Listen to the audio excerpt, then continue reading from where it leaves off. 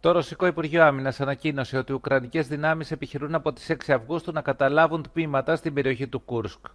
Σύμφωνα με την ίδια πηγή, υπάρχουν περισσότεροι από 260 Ουκρανοί στρατιώτες νεκροί τραυματίες και περισσότερα από 50 βαρέα οπλικά συστήματα κατεστραμμένα.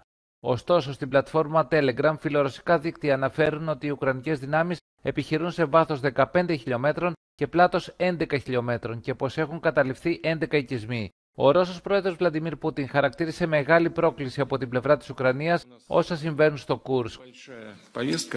Επίσημες ρωσικές αναφορές κάνουν λόγο για απώλειες αμάχων, ενώ υποστηρίζουν ότι κατάφεραν να απομακρύνουν τουλάχιστον 200 κατοίκους από τις επικίνδυνες ζώνες. Ανεξάρτητες πηγές τονίζουν ότι βρίσκονται σε εξέλιξη σφοδρές μάχες, ενώ το Κίεβο υποστηρίζει ότι οι ρωσικές δυνάμεις έχουν απολέσει τουλάχιστον δύο ελικόπτερα και τουλάχιστον δύο άρματα μάχης.